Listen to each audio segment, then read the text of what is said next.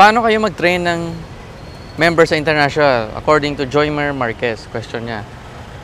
Pag magte-train ka international market, um, wala siyang pinagkaiba sa ginagawa mo sa live or sa offline.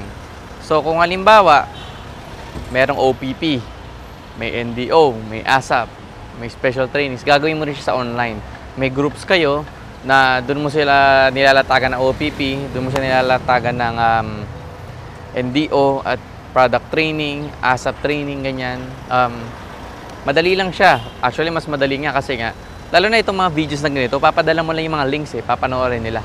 As a group, and i-schedule mo lang siya. Okay? So, ganun na kakadali kasi convenience siya eh. So, kung may grupo ka sa ibang bansa, may grupo ka sa ibang lugar, di ba? Through chat, through Skype, pwede kayo magkwentuhan, pwede kayo mag-usap.